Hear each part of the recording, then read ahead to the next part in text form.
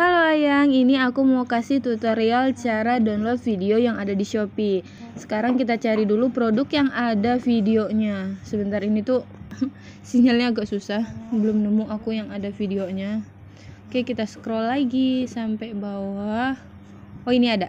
Ada rok nih, kita klik produknya. Habis itu kita klik share bagian pojok kanan. Setelah itu kita salin tautan setelah silent sautan kita buka Chrome. Setelah buka Chrome lalu kita tempel link yang udah kita salin tadi. Nah bagian situnya ya. Habis itu kita cari. Setelah kita cari mana ini? Kita swipe aja. Nah sampai videonya muncul. Terus videonya kita putar ya.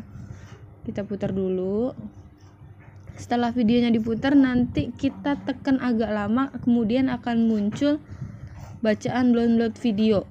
Setelah itu kita klik download videonya itu. Kan sudah ada download video satu lagi. Setelah itu jadi deh sudah selesai